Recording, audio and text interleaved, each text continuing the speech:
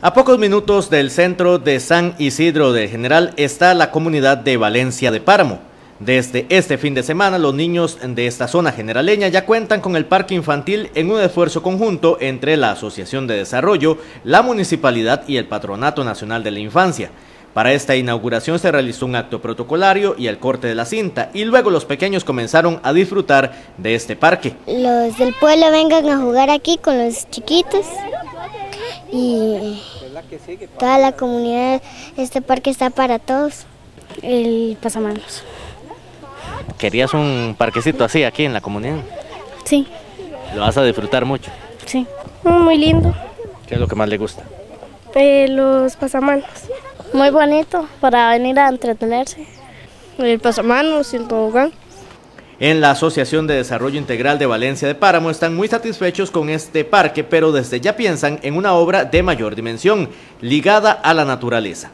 Completamente eh, por esta obra que ya logramos eh, culminar, ¿verdad? Eh, es una parte, aunque está muy bonito todo el apoyo del PANI, todo lo que ha representado el apoyo comunal, pero falta más. O sea, este parquecito nosotros lo visualizamos en 3, 4 años como un lugar maravilloso donde las familias pueden venir completas a disfrutar.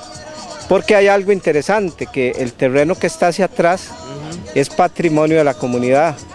Entonces, este, la idea es que este parque sea ampliado, o sea, no solo el parquecito infantil, sino hacia atrás, empezar a arbolizar, a sembrar plantas ornamentales, hacer un lugar de ensueño, esa es la idea, hacer un lugar maravilloso, bonito.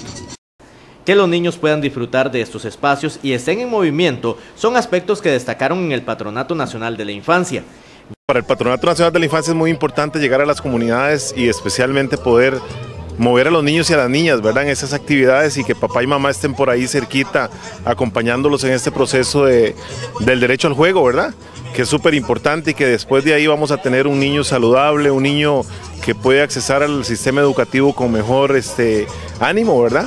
Entonces, eh, eso es, ha sido una acción muy importante del Patronato Nacional de la Infancia en todo el país, ¿verdad? Y especialmente, bueno, ahorita en Pérez Celedón tenemos bastante, bastante labor con relación a esto y, y tenemos a los niños y a las niñas moviéndose alrededor de papá y mamá eh, de la mano con las asociaciones de desarrollo y la, municipalidad también y otras organizaciones. Ya son 18 parques instalados en Pérez Celedón y queda uno para completar los 19, aunque ya hay varias comunidades solicitando un parquecito de este tipo. Y por eso en la municipalidad de Pérez Celedón esperan la colaboración de las nuevas jerarquías del PANI para continuar con estos proyectos.